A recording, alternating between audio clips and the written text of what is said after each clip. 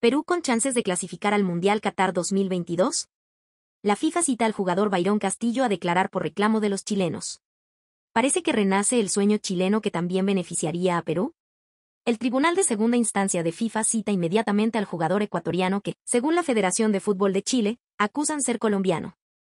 Cuando todo indicaba que el caso sobre Byron Castillo estaba cerrado, una decisión de FIFA ha vuelto a encender las alarmas en torno al reclamo de Chile por la supuesta nacionalidad colombiana del seleccionado ecuatoriano.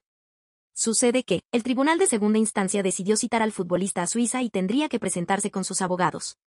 El diario sureño La Tercera de Chile informó que el máximo ente del fútbol, FIFA, ha decidido pedir la declaración inmediata del jugador del León de México, la cual debería realizarse en Zúrich este 15 de septiembre, fecha en la que está programada la audiencia de apelación.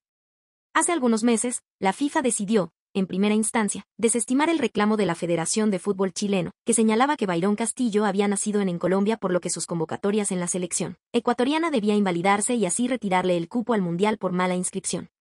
Cabe recordar que la Federación Peruana de Fútbol se sumó al reclamo de Chile y así tentar un cupo al Mundial de Qatar pese a su eliminación en el repechaje contra la selección de Australia en la tanda de penales.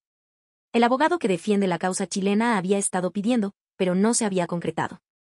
Me preocupa mucho que la FIFA no lo haya llamado para una audiencia que sea de manera virtual para escucharlo. Él tiene que hablar. Nosotros seguimos con la esperanza de que tenemos que denunciar cuando encontramos algo irregular.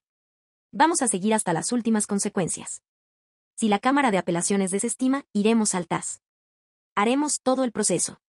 ¿Crees que el reclamo de Chile procederá y así también beneficiar a nuestra selección peruana e ir al Mundial de Qatar? Te leemos en los comentarios.